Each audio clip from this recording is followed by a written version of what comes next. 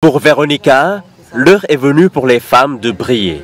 De la passion du beau et du chic, la Nigériane a finalement fait du stylisme une activité à plein temps qui la nourrit malgré des difficultés.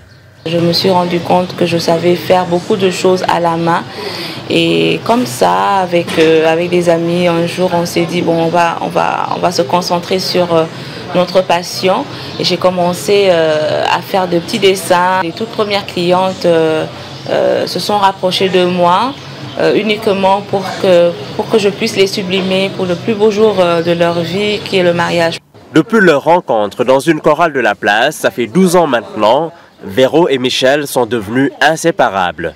Michel a d'ailleurs participé au financement du défilé que son ami avait organisé le 8 mars 2017. Ce que j'aime chez Véronica, c'est qu'elle dit ce qu'elle pense et comme elle le pense.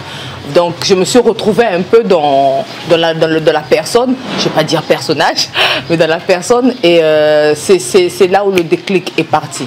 C'est quelqu'un qui, quand elle veut quelque chose, elle sait ce qu'elle veut. Grâce à Michael, Véronica dispose d'un local où recevoir ses clients. Cette fidèle, depuis plus d'un an, a quitté la banlieue dakaroise pour un guélé, l'article vedette. Les articles que j'aime le plus, ce sont les, euh, foulards, mais également euh, les colliers.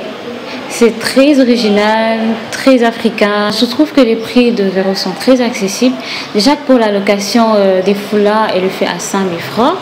Et je pense pour la vente, c'est à 20 000 francs. Mais après, c'est un tissu qui est vraiment un tissu de valeur. Véronica, Nigériane née au Sénégal il y a plus d'une trentaine d'années, essaie depuis près de 4 ans de se faire une place dans le milieu sénégalais et africain de la mode.